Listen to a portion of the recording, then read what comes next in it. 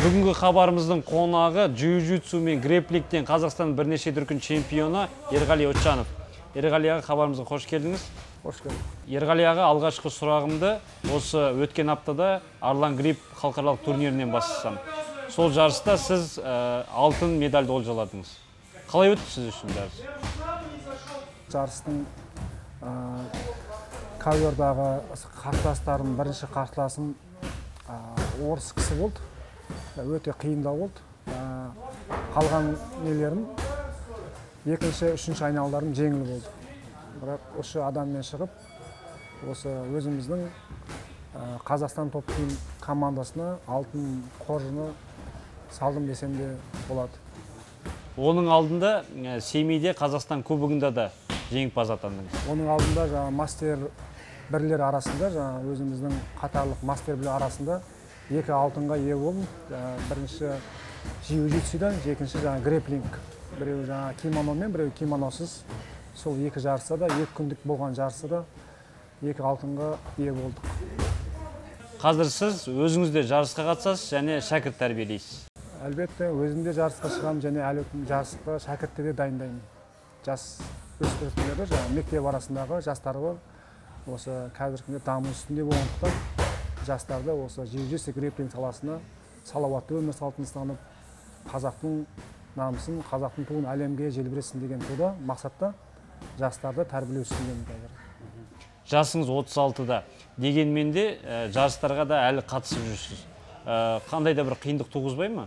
Ә, біріншіден аллаға шүкір мынау денсаулықты жаңағыдай берген аллаға және екіншіден жаңағы өзіміздің осы шынығумен күнделікті тренировка жасаумен таңертең және кешкі жасаумен.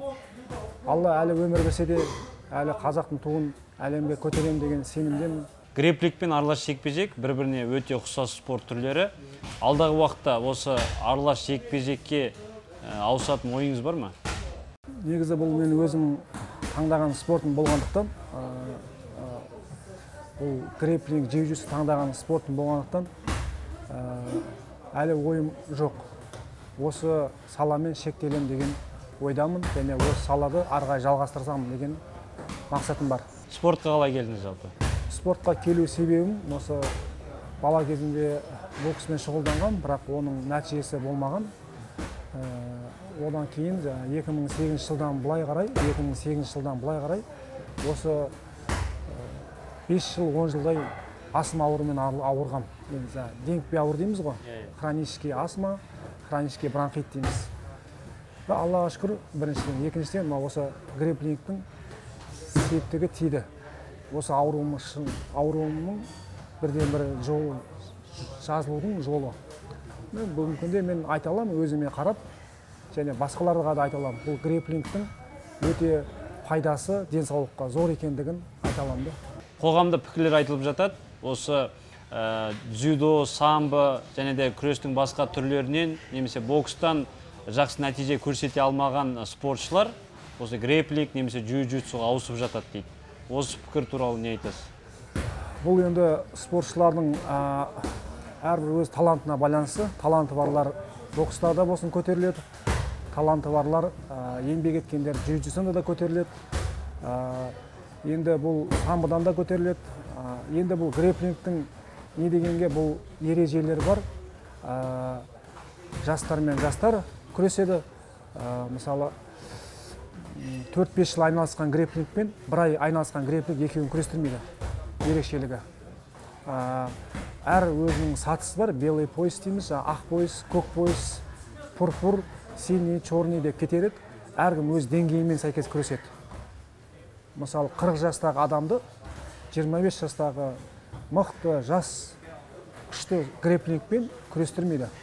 Бұл өз деңгейіндегі 25 жастағы 25 жастағымен күрестіреді 30 жастағылар 30 жастармен күреседі өзінің жаңағыдай деңгейімен өзінің жаңағыдай дайындығына қарсы күрестіреді деп айтсам болады. Талай дүбірлі додаларда топ жардыңыз. Өзіңіздің ә, алдағы уақытта есеңізді қайтару үшін ә, шыққыңыз келетін қарсыластарыңыз бар ма осы қазақстанда?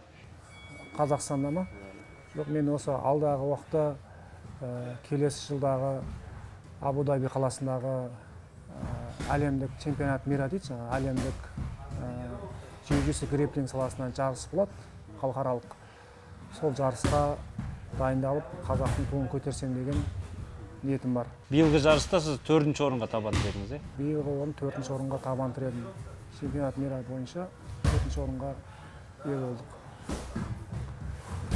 Келесі жылы сол немізді қайталап ә, әлемдегі қайтадан өзімізді жоғарылатып туымызды көтерсек деген жақсы дайындықпен барып жеңіспен оралсақ деген ниетіміз бар.